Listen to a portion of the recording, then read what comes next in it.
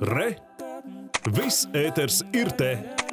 Šovakar Spīķeru koncerta zālē noritēs Baltijas jauno komponistu konkursa fināls, kurā Latvijas radio Big Bands starptautiskajai žūrijai un publikai atskaņos četru finālistu jaundarbus, kas radīti īpaši Big Bandu sastāvā. Šāds konkurss norisinās jau trešo gadu pēc kārtas, un par šī gada konkurenci, kā arī finālā nokļuvušajiem darbiem, mēs runāsim ar Latvijas radio Big Banda pārstāvi Uldi Ziediņu, un pie mums ir arī mūziķi Arts Urups un Dominiks Višņausks. Jā, labrīt! Labrīt! Labrīt! Labrīt. Uh, Uldi, droši vien īsumā par uh, to tradīciju. Trīs gadi jau, jā, un šāds uh, turpinās formāts arī šogad. Jā, trīs gadi un uh, apstāties neplānojam, jo ar katru gadu iesniegto darbu skaits aug un kvalitāte arī. Tad mazliet at, paiet atpakaļ konkursu rīko Latvijas Mūzikas akadēmija un Radio Big Bands. Tāda kā sadarbība. Un uh, jau tradicionāli pusfināla, pusfinālā skaņdarbs atskaņo Latvijas uh, Mūzikas akadēmijas Big Bands un, un, un tad finālistus spēlē Radio Big Bands. Un noklausās kas? kas Un noklausās startautiska žūrija. Katru gadu ir cita. Šogad žūrijā ir uh, Lietuvas, Latvijas un Igaunijas pārstāvi. No Latvijas ir Andris Dzenītis. Lietuvieti un Igaunieti var izlasīt mūsu mājaslapā.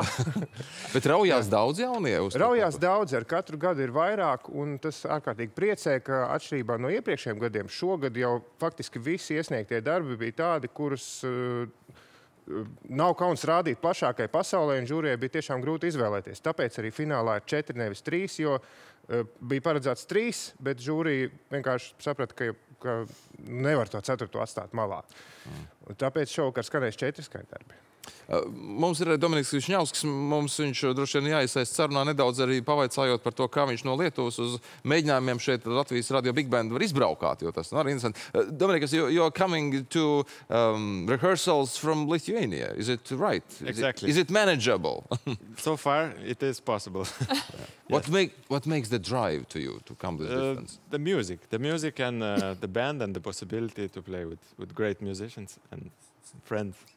Dominiks Latvijas Rādio Big Bandu raksturo kā lielisks mūziķis, kā arī jā, labus draugus. Un tieši tas arī ir. Un skaista mūzika, motivācija mēl, mērot ceļu no Lietuvas uz Rīgu uz mēģinājumiem. Un es varu pačukstēt, viņš stāstīs, ka viņš reizēm braucot pie stūres arī vingrinās ar vienu roku.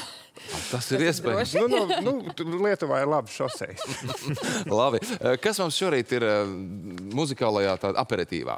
Šorīt muzikālajā aperitīvā ir tāds kā kopsavilkums no tā, ko publika dzirdēs šovakar. Jo šovakar spīķeros, biļetes, starp citu, vēl ir pieejamas biļešu paradīzē. Mēs nereklamējam biļetes, tāpēc mēs ļausimies mūzikai. Jā, un es eh, šovakar skanēs arī labākais no Rāda Big Band šī gada programmām, no mūsu dažādiem da- darbiem, ko mēs esam ieskaņo- ieskaņojuši ar starptautiskiem aranžētājiem. Un tad Dominiks Nārts mēģinās to visu salikt tādā kā brīvā improvizācijā.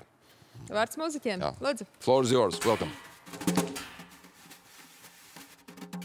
Mm-hmm.